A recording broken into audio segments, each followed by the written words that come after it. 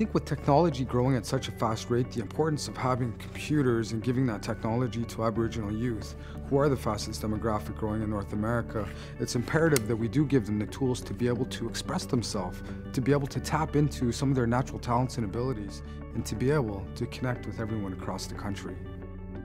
Laptop per child. It means hope. A brighter future. Go online and check it out.